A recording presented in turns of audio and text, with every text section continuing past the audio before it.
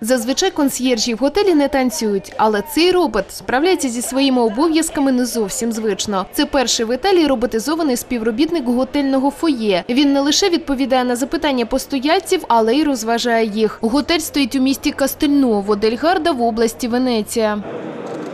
Robbie Роббі Пеппер відповідає на запитання трьома мовами: італійською, англійською та німецькою. Та поки що це лише ті запитання, які є в його базі даних. Також він прийшов сюди на стажування, тобто він постійно вчиться. Він зможе відповідати на всі запитання, які йому ставили в минулому. Поки що робот не такий спритний, як хотілося б. Постояльцям доведеться почекати кілька секунд, поки він відповість. Він схожий на людину. Дуже добре. Він розмовляє, а ще потис мені руку. Відмінна робота. perfetto Мета появи цього робота не замінити людей, а трохи їх розвантажити. Гадаю, це новинка, якої більше ніде не знайти. Це допомога і клієнтам, і нам, співробітникам ресепшн, оскільки нам часто ніколи відповідати на прості запитання.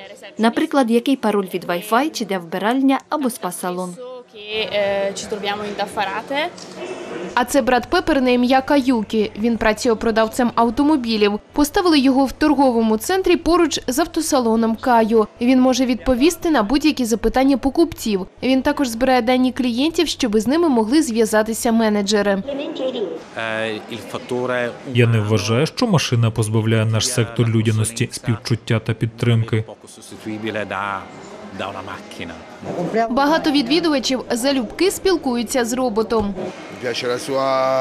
Мені сподобалася ця новинка, неймовірно. Cosa. Перші випробування виявилися успішними. Тепер компанія-оператор збирається залучати роботів й до інших сфер суспільного життя цього міста.